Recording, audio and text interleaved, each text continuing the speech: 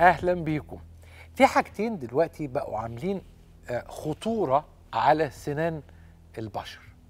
من ضمن ال 500 ألف حاجة يعني مش هم دول بس. بس ال ال أول حاجة آه، الفيديوهات أو ال social media. والفيديوهات اللي فيها نوع من أقول إيه عدم التركيز. لأنه ساعه لما يكون الانسان في حالة سعادة في حفلة في آه، مع أصحابه في حاجتين. في الغرب بقى في كمان كارثة اسمها الكحول إنه ناس بتشرب في ال... ودي نصيبة سودة فبيفقد اتسانه وبعدين بيصور فهو هو بيصور هو مش مركز في هو فين إيه اللي حواليه صاحبه جنبه هو هو باصص للكاميرا مقرب من حد حد مقرب منه فبسهولة شديده هو في حتة خطرة بيتحرك فين بالظبط؟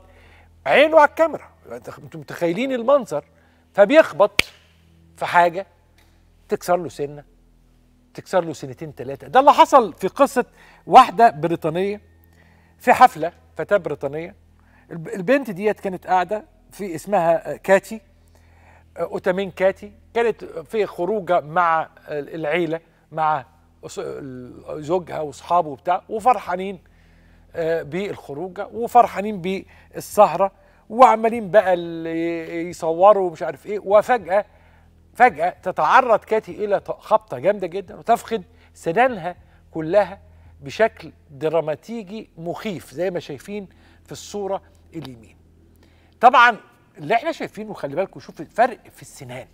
يعني لو أنتوا بصيتوا للصورتين هي ديت مش سنانها وقعت سنانها في حادثة في خبطة في لحظة فقدت سنانها. بس مع ذلك تشوف الوش وكأن الوش الوش كبر فجأة. كبر فجأة. طبعا مع التكنولوجيا المتقدمة في عالم الأسنان قدرنا إن إحنا نرجع تاني لكاتي بوشها الطبيعي. لكن أرجع أقول لكم تاني إنه المخاطرة بال social media والفرحة بال ب... ب... طبعا والحركات بقى اللي بتتعمل على التلفزيون. اللي هو بقى حركات الخطورة. يعني صورني يا باشا وأنا مثلا ب... بجري جاريه جامدة جدا فوق آه، بتاع كده واتزحلق وأطير مش عارف الك- الكور وأعمل حركات بقى أتشير بيها على أشوف بقى ال reach ولا مش عارف اسمه إيه دوت كام ألف هيتابعوني؟ أصل أنا ليا follower. والنتيجة بتكون خطيرة جدا بالنسبة للناس دول. يا أخي ما فيش مشكلة يبقى ليك follower في اللبس في الشياكة في في الف في ال fashion. لكن بلاش في إنك أنت تكون مغامر أو بتاع حركات خطرة. لأنه السنان هي من الحاجات اللي بتدفع الثمن من ضمن. ممكن الثمن ده يكون أخطر كمان. يعني ممكن الثمن ده يكون إن أنت تجي لك إصابة خطيرة في العمود الفقري لكن السنان ما هي برضه إصابة خطيرة. النهارده حوار ممتع جدا مع واحد من نجوم عالم طب الأسنان. النهارده الحوار سيكون بالتفصيل. والنهاردة في نقاط جديدة كعادته في عالم طب الأسنان دايما. الحوار بيكون مع واحد من mega stars السنان النهارده وطب السنان الممتع جدا مع ضيفي العزيز الأستاذ الدكتور كريم مكادي أنا لازم أروح لدكتور الأسنان عشان أعرف إيه مشاكلي. الزراعة دلوقتي تمت بسلام. يعني خلاص أنا كده. ولا في مخاطر منتظراني؟ يبقى المريض بياكل وهو مش حاسس إن هو خايف ياكل حاجة ناشفة عشان خاطر الزرعية. لأ. الطاقم المتحرك ده طول ما هو موجود هو بيزود تآكل العظم. دايما بنقول إن من حق أي حد إن هو ياكل لحد آخر يوم في عمره بأسنانه الثابتة ويستطعم الأكل اللي هو بياكله. لازم تبقى عارف إن المكان ده هيعمل لك الحاجة اللي شكلها طبيعي حلو. الدكتور كريم مكادي استشاري تجميل الأسنان وجراحة الوجه والفكين عضو كلية الجراحين الملكية بإنجلترا عضو الجمعية الأمريكية لأطباء الأسنان. ضيفي العزيز القامة العلمية المتميزة والاسم اللامع وواحد من mega stars عالم طب الأسنان بيمتعنا بحواره الشيق دايما الاستاذ الدكتور كريم مكادي استشاري زراعة وتجميل الفم والأسنان وزميل كلية الجراحين الملكية وعضو الكونجرس الأمريكي لزراعة الأسنان أهلا بيك يا دكتور أهلا. بيك يا دكتور أيمن ازي حضرتك الله يخليك إيه؟ قبل ما أدخل في المواضيع النهارده وأنت جايب لنا مواضيع جديدة كم واحد بيجي لك في الكلينيك من الناس دي من الناس اللي عاملة كارثة لا كتير؟ جدا وخصوصا إن هو يعني شكله كله بيروح بعد ما يفقد اسنانه إحنا عندنا الضحكة هي أول حاجة بيقع عليها عين البني آدم وإحنا بنتكلم مع بعض. فأول ما ألاقي إن مفيش أسنان ده بيعمل لي attraction إن في عندي مشكلة. وده بيخليه يهز ثقته بنفسه. يعني دايما هتلاقي اللي عنده مشكلة في السنان الأمامية قاعد بيضحك كده أهو. ما بياخدش راحته في الضحك. دايما هتلاقيه قافل بقه. هتلاقي دايما عنده مشكلة في ال communication بتاعته. بس في نقطة مهمة جدا. كل حد بيتخبط مش لازم السنة تتكسر عشان يبقى فيه مشكلة. يعني أنا مجرد ما اتخبطت خبطة جامدة في أسناني لازم أروح لدكتور الأسنان لأن ساعتها عصب السنة نفسه بيموت وبيتعفن بعد كده ويبدأ يعمل لي خراج في كيس دهني بيعمل لي مشاكل تانية كتير قوي. فدايما أنا بنصح أي حد اتخبط خبطة جامدة في أسنانه حتى لو ما اتكسرتش لازم يزور دكتور الأسنان بتاعه. طبعا ال ال ال social media خلت فيه يعني هرجلة وجنون مش طبيعي. ما أنت بتلاقي مثلا واحد يا عيني سايق موتوسيكل وماسك الموبايل بيصور طب ده جنان ده بالظبط وفي اللي. بيقعد فوق العربية وهي ماشية وينط من فوقيها مش آه عارف إزاي لا ده دول مجانين لكن آه. أنت مثلا أنا بكلمك على أبسط الجنان صح. هو هو سايق الموتوسيكل المفروض مركز صح. وماسكه بإيديه الاثنين وهو على عجلتين آه آه أو. لا المفروض ماسكه بإيديه صح، الاثنين. ساب ايد وماسك الموبايل راح. وبيكلم ال- الحد في الموبايل أو بيعمل بقى ال followers بتاعه بتوعه. آه. بيك... آه الفيديو الفيديو بتاعه بالظبط، يعني بالظبط. فينشقلب مشكلة بقى السنان دي أبسط حاجة في قصة الحادثة. ده في عمود فقري وفي آه. ناس بتروح خالص بقى. النهارده أنت جاي لنا بموضوع مهم جدا اسمه العضة. العضة. أيوه. البايت أيوه. إيه حكايه العضة دي الناس تفهمها الأول وبعدين كلمني عن رفع بقى العضة. العضة دي هي تطابق الأسنان مع بعضينا وده اللي بيخليها تمضغ.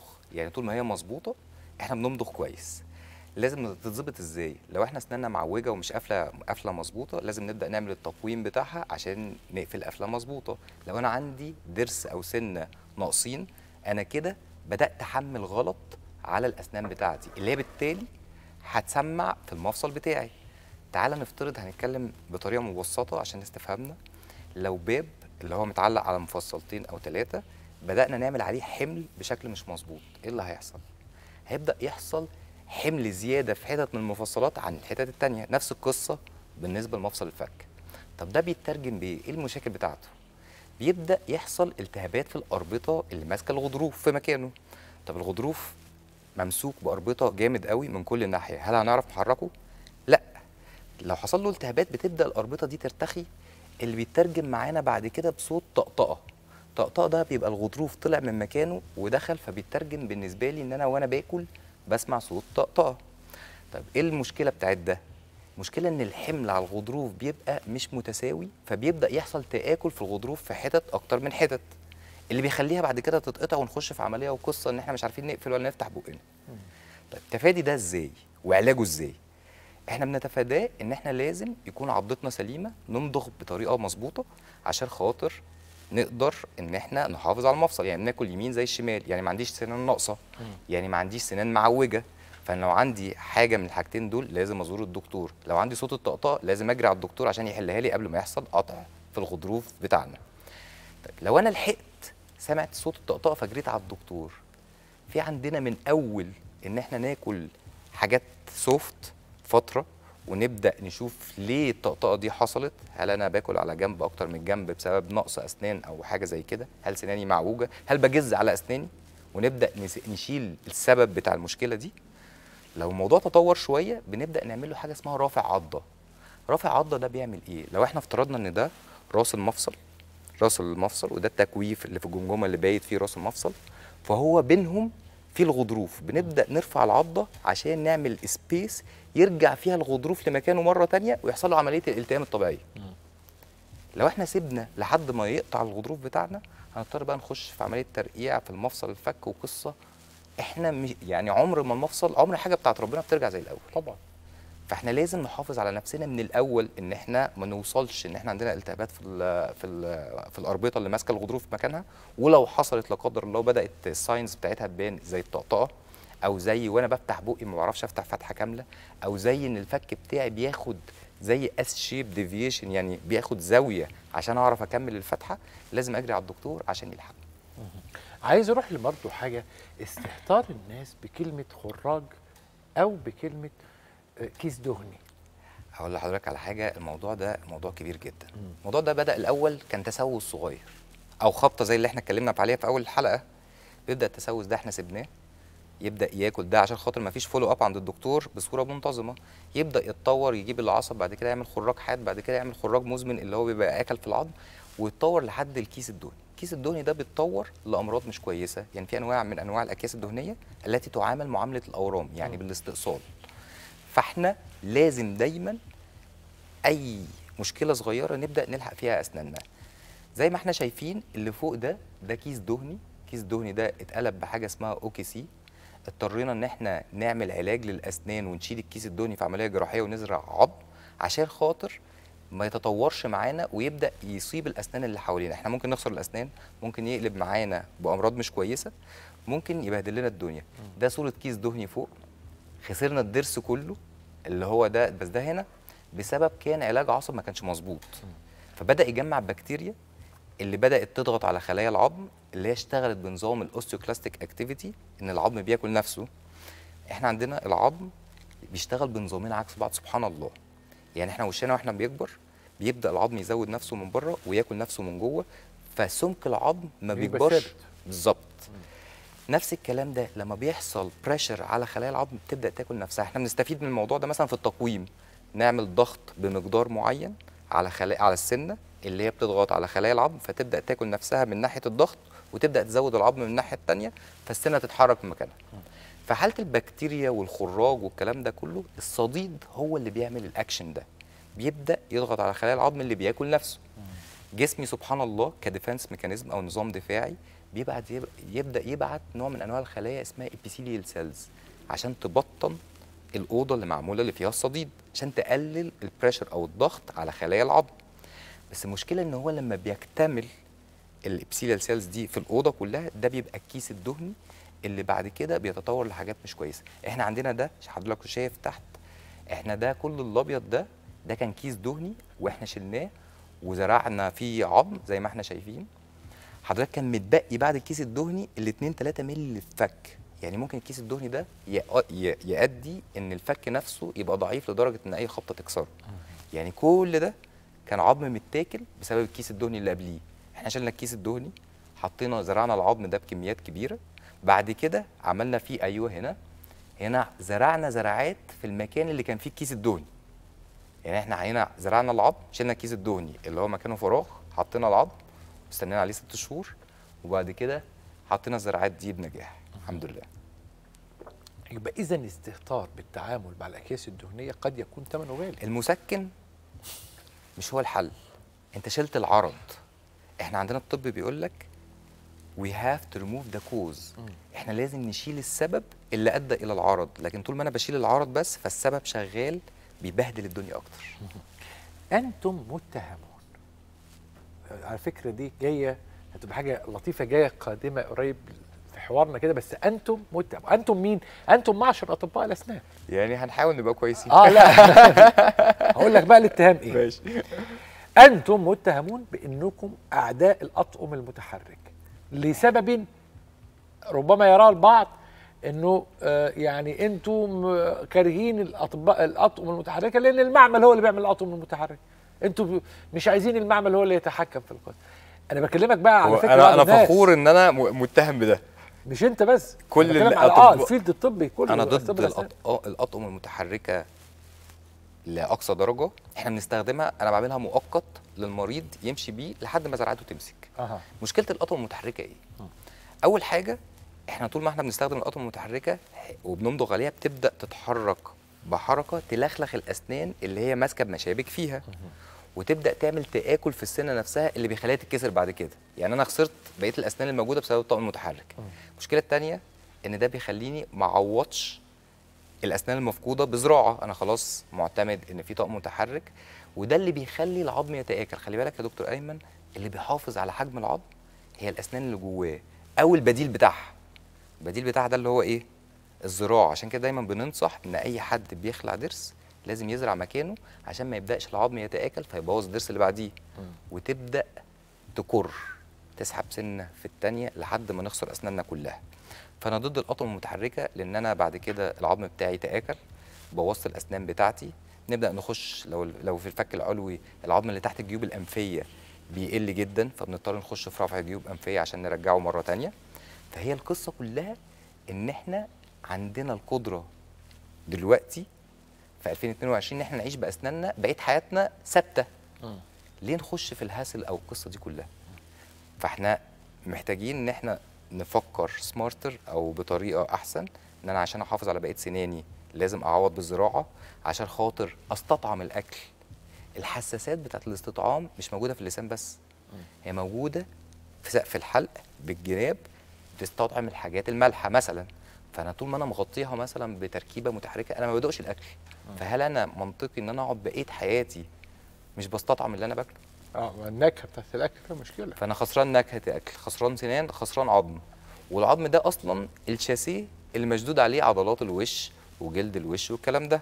فلما العظم بيكش عشان ما فيهوش أسنان هيبدأ الشاسيه ده الحاجات اللي عليه تبدأ تكرمش فيبان سن المريض أكبر من سن الطبيعي. إحنا شفنا كاتي من شوية اللي هي اتخبطت بس كانت حادثة. تحولت وكبرت 10 سنين آه، مثلا. كبرت في ثانية. بالظبط آه، بعد يعني الحادثة بس. وشها آه، مش قبل ده مش قبل وبعد آه، في خلال شهور ده قبل وبعد في يوم في ليلة. طبعا مش هنتكلم بقى إن الطقم ده كل شوية هيوسع مننا عشان العظم كش فهبدأ ماشي ملازم دكتور السنان على طول.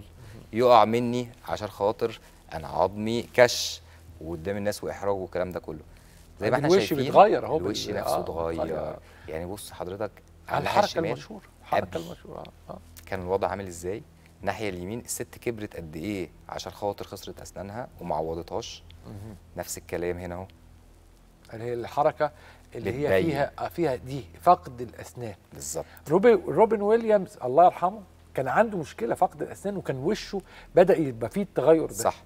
أعتقد إنه برضه إهماله في التعامل مع الأسنان روبن ويليامز هو اللي خلاه ينتحر في الآخر يعني من ضمن من ضمن الأسباب. ما هو أنت أو يعني من ضمن أشكال الإهمال في النفس. أو أشكال ال ال ال الاكتئاب. الاكتئاب آه. بالظبط آه. بالظبط. هو اكتئاب اكتئاب. مش ظاهر. آه بالظبط. آه لأنه المكتئب ببدأ أسيب نفسي خلاص سناني الاكتئاب راحت. المكتئب على فكرة ممكن تلاقيه قاعد معاك وبيتكلم وبتاع. وهو بيفكر في الانتحار. صح آه مظبوط يعني يعني دي, دي خلي بالكم من الحكاية دي. مظبوط جدا. هروح بقى لاتهام آخر. أنتم متهمون. معاك. بإنه عمليات رفع الجيب الانفي عمليات بالنسبة لكم يعني إلى حد ما صعبة و و و ومكلفة ماليا. عمليات الجيب الأنفي رفع الجيب الأنفي بقت دلوقتي أسهل من السهوله بقى في حاجة تكنيك اسمه closed sinus lifting إن إحنا بنرفع الجيب الأنفي من نفس الفتحة اللي بنحط فيها الزرعاية. زي ما إحنا شايفين الفتحة اللي موجودة الرفيعة دي ده الضرس لما اتخلع بدأ العظم عشان ما تعوضش. على طول العظم يكش فالجيب الانفي كبر. ما بقاش فيه عظم نحط فيه زرعات. فبنبدأ نفتح فتحة صغيرة خالص من تحت زي ما إحنا شايفين كده اهو. أيوه. ونبدأ نزق منها أدوات بتاعتنا. ونبدأ نزق بعد كده سلاين مكانها. هي خرم صغير جدا لا يتعدى الملي ونص يعني. ونبدأ نزق واحدة واحدة. هيزق دلوقتي ال saline بتاعها. ويرفع الجيب الانفي ويرفع الجيب الأنفي. بعد ما هيرفع الجيب الأنفي يبدأ يحط أيوه كده العظم. رفع الجيب الأنفي. آه. يبدأ يحط, العظم بتاعه. بقى مكانها. okay. ويبدأ يدي فرصة للزرعه إنها تتولد في الحتة. أدي العظم بدأ يتحط أهو. ملا ال space كلها بالعظم. وبعد كده حط الزرعة في عظم. فإحنا تفادينا ده. هنا زي ما إحنا شايفين الحاجات البيضة الواضحة قوي دي. اللي عاملة زي السحاب دي ده ده رفع جيب أنفي دي العظم اللي إحنا حطيناه ده العظم آه اللي بتاعنا. هو اللي هو الأبيض بس درجة البياض بتاعته بالظبط. أقل شوية من الزرعه آه بالظبط كده. آه، هتلاقيه عامل زي والشمال. يمين وشمال. آه يمين وشمال آه. بالظبط. ده إحنا رفعنا الجيوب الأنفية دي كميات عظم كبيرة. وأنا عايز أقول إن إحنا العظم اللي إحنا بنحطه اللي إحنا بنحطه ده بيلتئم مع العظم بتاع جسم البني آدم بيبقى حتة واحدة. لدرجة إن إحنا هنا حطينا فيه الزرعات وركبناها بقى ال- المريض بقى بأسنانه كاملة. خلينا ما نقولش المريض خلينا نقول ال- ال- ال client. ال client اللي هو فقد أسنانه رجع له أسنانه مرة تانية. هروح لاتهام آخر. النهارده كل القعدة اتهامات يعني. أنا جاي هنا أتحط بس في the corner. الته- ده مش اتهام بقى. هو ده يعني هو آه، آه، هقوله لك زي ما هو في دماغي كده. أنتم متهمون. مش أنتم أنت. لكن الفل الاسنان متهم. متهم بحاجة. مش أنتوا برضو. مش مش دكاتره أو ربما الدكاترة. ليه ما بتتصدوش بالشكل الكافي للزراعات الرديئة بحيث إن يكون الموضوع فيه تجريم واضح لهذه الزراعات الرديئة بحيث إن الم- الظاهرة دي تختفي مين قال كده يا دكتور إحنا بنتصدى ليها مش بتكلم عن. الدكاترة هو مش دي مش دكاترة ده هنا الكلاينت نفسه هو اللي عنده مشكلة. آه. أنا طول ما أنا بسترخص وبدور على حاجة تحت السلم عشان خاطر أزرع أسناني طب ما أنا كده موافق إن أنا يتحط لي حاجة ليست ذات كفاءة المناسبة. هنا ده الفتحه دي. ده عمر متآكل عظم متآكل بسبب زرعاية مش مظبوطة. إحنا مريض جالنا قال لي أنا زرعت من شهرين وعندي ألم شديد على طول. فجايين بنفتح لقينا المنظر ده بعد ما شفنا في ال x-ray إن في كمية radiolucency أو تآكل في العظم شديد جدا موجودة في الأشعة بتاعتنا. هي اللي أدت هي بسبب الزرعاية اللي هي مش مظبوطة. بقى في يعني المشكلة إن بقى في ال ال ال ال يعني ال trust دي حاجة مهمة جدا. لازم الثقة. تروح لدكتور trusted بالنسبة لك لازم ت trust ال material بتاعته. الدكتور حرفة و technology وخامات. ثلاث حاجات دول. ممكن يكون شاطر جدا بس خاماته رديئة. ممكن ال infection control بتاعه ما يكونش كويس. ممكن يكون بيسترخص طول ما إحنا بندور على السعر قصاد ال quality إحنا بنخسر كتير قوي. آه. ال quality أهم حاجة في الدنيا. دي صحتي في الآخر أنا مش هينفع أحط حاجة في جسمي مجهولة المصدر. دي مهمه قوي بقى. ولا هينفع أحطها مع حد مجهول. فأنا لازم حد trusted مع materials إحنا فاهمين دي جاية منين. ولازم أروح عند حد بيخاف على اسمه كويس قوي. لأن طول ما هو بيخاف على اسمه وبيراعي ربنا فأنا هبقى ضامن إن أنا في حتة كويسة. زي ما إحنا. شايفين إن هي دي x-ray باينة إن الزرعاية محطوطة والعظم اللي حواليها جري منها. المفروض أصلا الزرعاية دي عاملة زي المغناطيس. تيتانيوم عامة بيجذب العظم إن هو يتكون حواليه. okay. زرعاية تيتانيوم اللي إحنا شفناه دلوقتي العظم جري من الزرعاية ده بسبب رداءة الزرعاية اذا هي آه، آه، نوع من مش مش هقول ده ده, تجاوز يعني تعبير إعلامي أقول اتهام لأن مش متهم ال- ال- الفيلد الطبي مش متهم في الثلاث اتهامات اللي أنا قلتهم لا الطب الأسنان متهم بأنه ما تصداش لأن دي مش قضية دكاتره طب الأسنان إن هم يتصدوا بس بس هو بيني وبينكم لازم كل دكتور يبين لمرضاه خطورة الزراعات الرديئة. بالظبط كده. هي إعلام أكتر منه ضوء طب بأسنان بس مسؤولية أطباء الأسنان يبينوا الحكاية دي.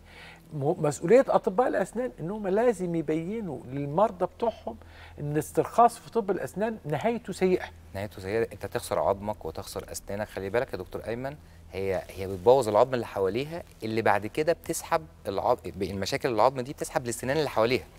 فأنت هتبدأ تكسر السنان من غير أي لازمة. وإنهم بيبينوا لل- لل- لل clients بتوعهم لماذا نكره؟ الأطقم المتحرك. ما هي دي بقى مشكلة من مشاكل إن أنا قاعد بفتح وسائل التواصل الاجتماعي بدور على الأرخص. مش بدور على ال quality مش بدور على ال trusted أكتر. دي دي مشكلة كبيرة. أنت نورت وكالعادة أبدعت وخدتنا في نزهة جميلة متنوعة النهارده. آه، جاوبت أسئلة صعبة جدا وفي مناطق صعبة جدا مثل العضة والتقويمات أو تعامل مع العضة مثل رفع الجيب الأنفي مثل نقل العصب أيضا ذكرت قضايا مهمة جدا كنت أنا فيها الخصم آه، أو بمعنى أصح يعني كنت أنا المتهم آه مش أنت طب الأسنان صح. في التعامل مع مش متهم ولكن توضيح صح. يعني هل طب الأسنان يكره تماما ما هي دي؟ ميزة البرنامج نعم. هنا آه. ان هو بيفهم الناس. انت بتاخدش المعلومة وخلاص. انت بتفه- بتفهمها بطريقة علمية مبسطة. والزراعة دلوقتي بقت سهلة. إحنا بنحط الزراعيه في دقيقتين ثلاثة فانت يعني الفك الكامل اضرب دقيقتين ثلاثة في ست زراعات. فالدنيا بقت أسهل وتقدر تعيش حياة أحسن بأقل تعب. والإنسان في الآخر لازم يكون حريص على أسنانه. أرجوكم خلي بالكم من سنانكم. ودايما جزء من حياتكم وجزء من جدولكم الأسبوع يكون جزء منه في عيادة طب الأسنان. مش كل أسبوع ممكن كل شهر حسب بقى كل أربع شهور. كل أربع شهور آه، بالنسبة لمريض. السكر آه، كل آه، شهرين بالظبط. آه يعني على الأقل. لكن ما, ما, ما فيش. يا أخي أنت بتعمل صيانة لعربيتك اعمل صيانة لاسنانك يا أخي ده في ناس بت- بتتفاخر بإنها بتعمل صيانات لليخت بتاعها. يعني بتكلم على ناس تانية بقى مش مش بتكلم عن ناس مع في ناس ما عندهاش العربية. لكن ماشي. لكن تبص اللي يزعلك إن الناس اللي بتعمل صيانة لليخت ده وعندهم يخوت وعندهم عربيات تبص لاسنانهم تلاقيها بايظة. ده حقيقي. ده بنشوفه يبقى انت. بقى ساعتها بتضرب كف اعمل بكف. صيانة لنفسك الأول. آه تضرب كف بكف. الراجل اللي يعني آه عنده يخوت عنده يخت وعنده عربية وبتاع و- وقاعد كل يوم في الحتة الفلانية الحتة العلانية. سنانه كده؟ لا دي تزعل بقى. يعني حتى الناس البسطاء برضه لازم ياخدوا بالهم من سنانهم. ومفيش حتة في مصر دلوقتي اللي ما يقدرش كل الأسعار متوفرة قلب الدكاترة حنين برضو على المرضى. نورتنا. وشرفتنا.